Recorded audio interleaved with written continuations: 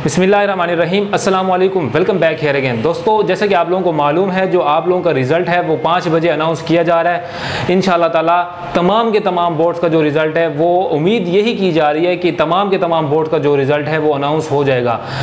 बाईस भावलपुर ने भी ये अनाउंसमेंट कर दी है, बाईस लाहौर ने भी, लेकिन बाकी बोर्ड्स की ऑफिशियल नोटिफिकेशन हमें नहीं मिल रहे। लेकिन तो ये की जा रही है कि तमाम के तमाम बोर्ड का इन ताला रिज़ल्ट आ जाएगा। बाकी अगर हम बात करें आपकी सप्ली के हवाले से कि कितनी सप्ली वाला है, कितनी सप्ली वाला पास नहीं है। काफ़ी स्टूडेंट्स मैंने लास्ट वीडियो अपलोड की, अभी कुछ दिन, कुछ देर पहले, तीस मिनट पहले, आधा घंटा हो गया तकरीबन। उसमें काफ़ी स्टूडेंट्स इस चीज़ को लेके बहुत ज़्यादा परेशान हैं। लैपटॉप में मेरे सारे कमेंट सेशन में जो कमेंट किए आप लोगों ने मेरे सामने है। टू दी पॉइंट बात करेंगे, जो भी आप लोगों की सप्ली के हवाले से आपकी माइंड में जो क्लियरिटी नहीं है वो देखें जहाँ तक हमें ये मालूम हुआ है कि क्योंकि कोविड आया था आपके प्रैक्टिकल्स के दौरान, आपके पेपर जो है थेरी के जो पेपर थे टेंथ क्लास के थेरी के पेपर ऑलरेडी आपके हो गए थे। लेकिन जो कोविड आया था वो आप लोगों का जो आया था वो आपके प्रैक्टिकल्स में आया था। प्रैक्टिक फिर उन्होंने सीन ये हुआ प्रैक्टिकल्स के आपको कैंसिल आउट कर दिए गए और आपके जो मार्क्स है प्रैक्टिकल के वो 50 परसेंट तमाम स्टूडेंट्स को अवार्ड जो है अवार्ड कर दिए गए।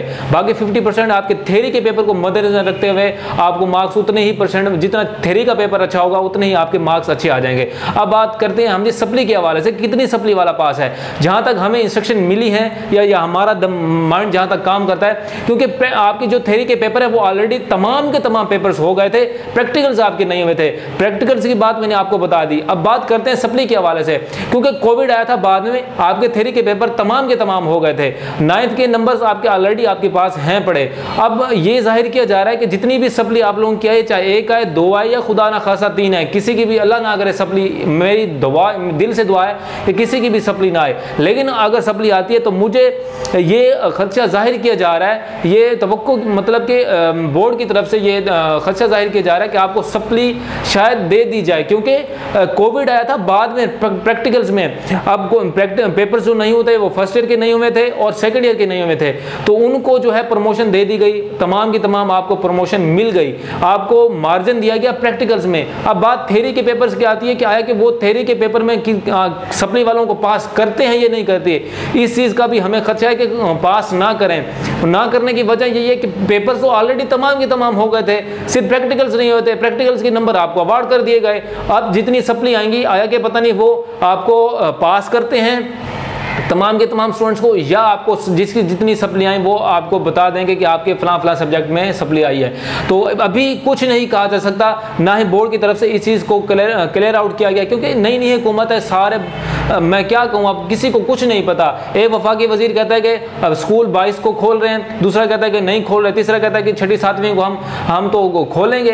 तो चौथे ने, अब सईद गनी साहब ने कहा कि हम नहीं खोलेंगे। इनको इनको आपस का ही नहीं पता कि कब क्या फैसला करना है। कोई जब मुँह उठा के आता है, प्रेस कॉन्फ्रेंस करके चले जाते हैं, हम आपको अपडेट देते हैं कि फलान ऐसे कह दे कि जो आप छठी सातवीं वाले नहीं जाएँगे। पंजाब कह रहा है छठी सातवीं वाले जाएँगे। और फिर कमेंट सेशन में हमें गालियाँ पड़ रही होती हैं कि आपको पता ही नहीं है कुछ आप दे रहे हैं। क्योंकि गवर्नमेंट इंस्ट्रक्शन ही सही नहीं दे रही। पता नहीं पीछे कौन से ऐसे जो नए नए वज़ीर तालीम इनको बिठा दिया है। इनको पता नहीं इनके पास कोई ऐसे जो इनके गाइडर हैं, इनको सही गाइड नहीं कर रहे या इंस्ट्रक्शन सही नहीं मिल रही। कोई बर वक्त कभी कुछ जो आगे बोल देता है मीडिया पे। तो इन ताला तो ये की जा रही आपको तमाम के तमाम पास भी किया जा सकता है या सप्ली जिसकी है वो भी आपको बताया जा सकता है। अब पाँच बजे का इंतज़ार करें, बस कुछ ही देर रह गई है। आप अपने रोल नंबर कमेंट सेशन में कर दें। इन हम आपको बर वक्त आपका रिज़ल्ट प्रोवाइड करेंगे। अपना ख्याल रखेगा, वतन पाकिस्तान का ख्याल रखेगा, वालदान का तो दिल से कीजिए, उनके होने से हमारा होना है, अपना ख्याल रखेगा। थैंक्स फॉर वॉचिंग अल्लाह हाफिज़।